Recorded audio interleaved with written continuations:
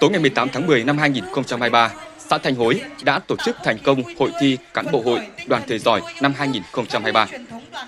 Trải qua 3 phần thi, chào hỏi, kiến thức và tài năng, 12 đội thi đến từ 12 xóm trên địa bàn xã đã thể hiện kiến thức, năng lực của cán bộ hội nông dân, hội phụ nữ, đoàn thanh niên làm công tác tuyên truyền vận động ở cơ sở. Thông qua hội thi là cơ hội để cán bộ hội, đoàn thể của các xóm giao lưu học hỏi, trao đổi và chia sẻ những kinh nghiệm thực tế qua quá trình công tác, góp phần nâng cao năng lực, chất lượng và hiệu quả công tác của cán bộ hội ở cơ sở nhằm lan tỏa những mô hình hay, cách làm giỏi, những thành quả trong việc thực hiện công tác dân vận và công tác của các hội đoàn thể. Qua đó, nhân rộng ra toàn xã, góp phần thi đua thực hiện thắng lợi các mục tiêu phát triển kinh tế xã hội, đặc biệt là nghị quyết Đại hội Đảng bộ xã Thanh Hối lần thứ 17, nhiệm kỳ 2020-2025 đã đề ra.